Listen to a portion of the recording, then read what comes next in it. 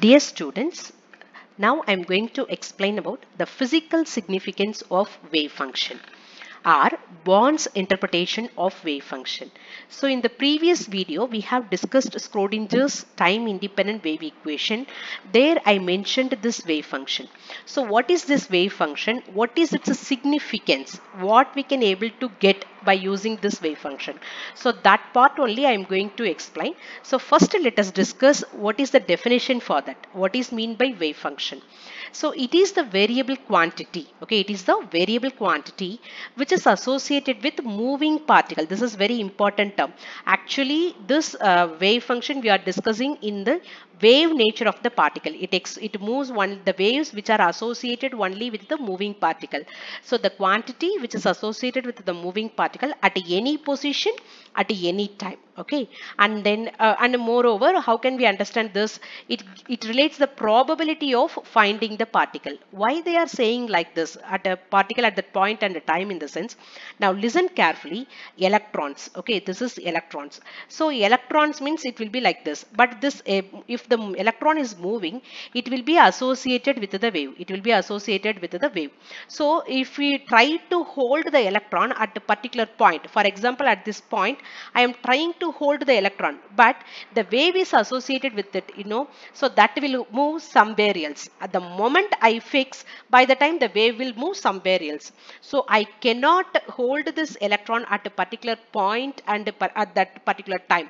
Why? Because which is associated with the wave. So i cannot say at this particular moment the electron is present at this point. Okay so it is very difficult. Why? Because which is associated with the wave. So the moment i try to hold the electron at that particular moment, the wave which is associated with the electron will move somewhere else, right? So this is the main thing we have to understand about the wave function. So what the wave function gives, so the wave function will give, for example, if I am considering one particular volume, so this volume. So within the volume, whether the particle is present or not, that probability it will give.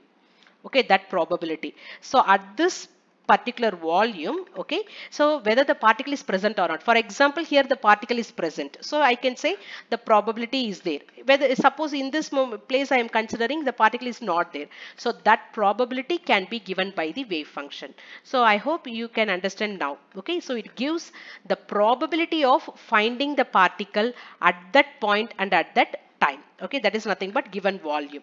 So what is the formula for wave function? Psi is equal to psi naught e power minus i omega t. So this is the formula for the wave function. Psi is equal to psi naught e power minus i omega t. So by using this only we are going to discuss the physical significance. Now we know what is that wave function what it explains what is the significance it is giving.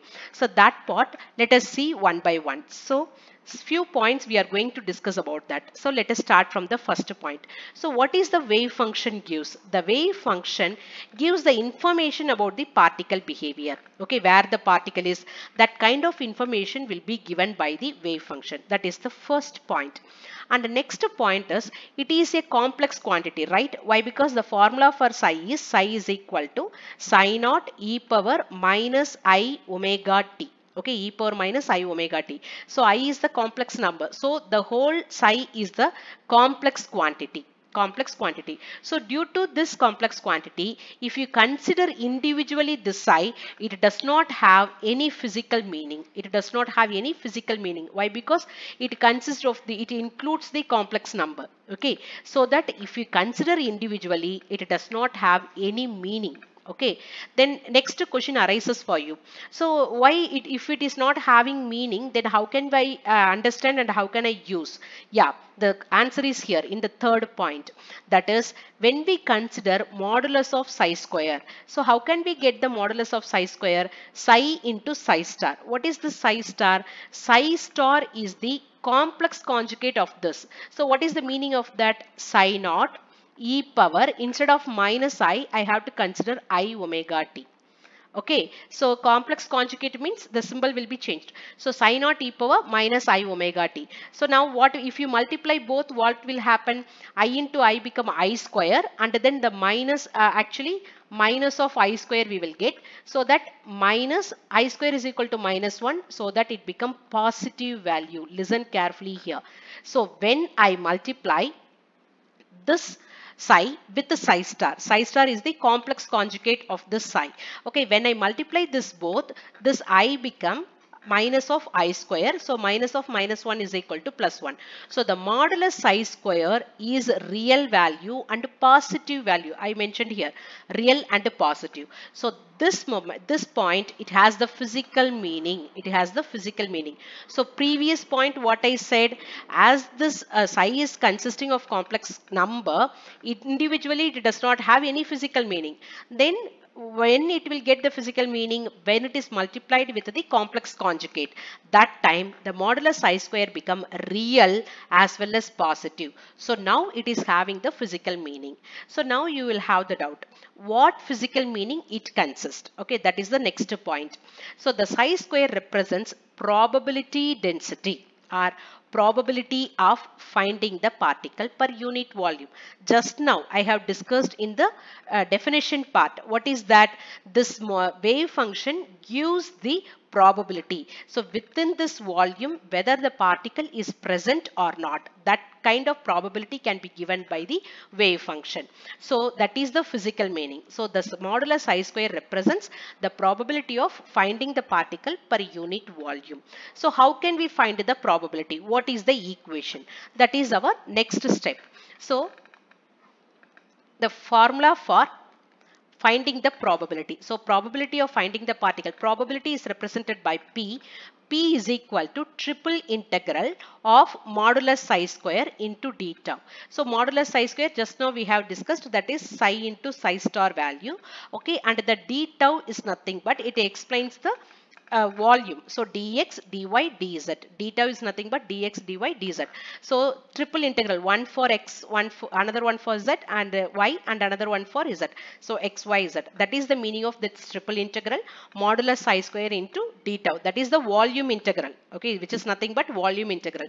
So the probability formula is equal to P is equal to triple integral of modulus psi square into d tau. Okay. So now one after the other we have seen. Okay. So what is that wave function?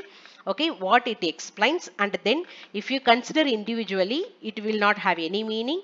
The next step how it is getting the meaning by multiplying with the complex conjugate and then it becomes the real and positive.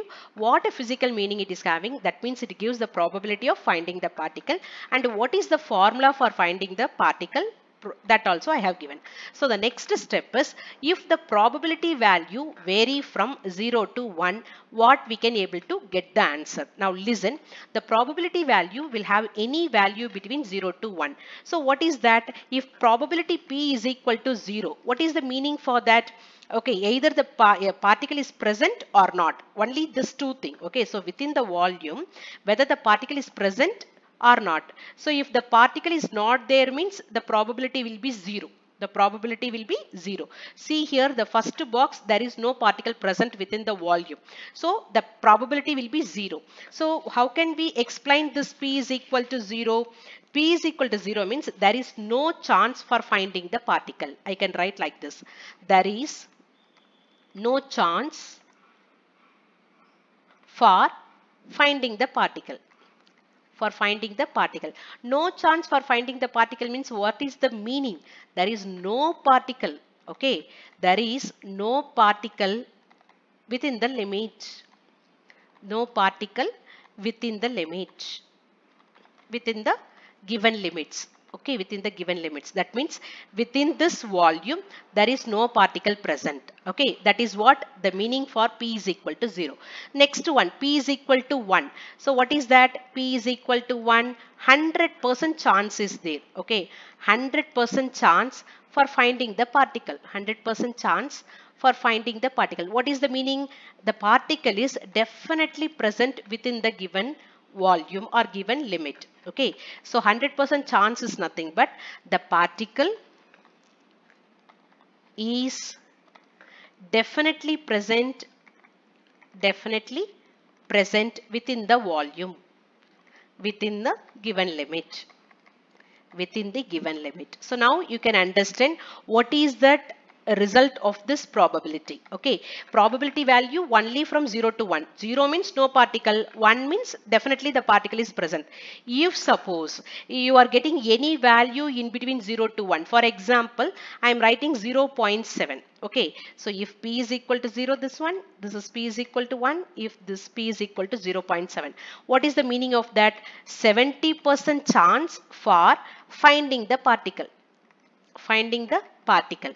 Okay, and the remaining 30% no chance for finding the particle. 30% no chance no chance for finding the particle. So this is for finding, right? So this is what the probability value vary, variation that is p is equal to 0, p is equal to 1, p is equal to 0.7. p is equal to 0 means no chance. No chance is nothing but no particle. Here 100% chance for p is equal to 1 that is definitely the particle is present. Okay. If suppose p is equal to 0.7, 70% we can find the particle and 30% no chance for finding the particle. So in this way we can understand the physical significance of the wave function. I hope you understand this. If you have any doubt, you can ask me in the comment box. So thank you everyone.